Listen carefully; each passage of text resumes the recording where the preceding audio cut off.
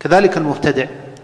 إذا رأيته وهو يتخبط في دياجير الضلال فإنك ترحمه وتترفق به وتحرص على هدايته إلى الحق والصواب.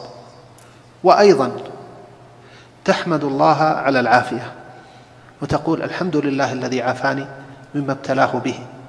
وأيضا أن يصيبك الخوف والوجل أن يصبح حالك كحالهم. أن تضل بعد الهداية. أن تنحرف بعد أن كنت على الصراط المستقيم. فإن الهداية ليست بحولك ولا بطولك ولا بقوتك ولا بذكائك ولا بعلمك ولا بشهادتك ولا بشيء من ذلك. إنما الهداية من الله سبحانه وتعالى. فهو يهدي من يشاء ويضل من يشاء سبحانه وتعالى.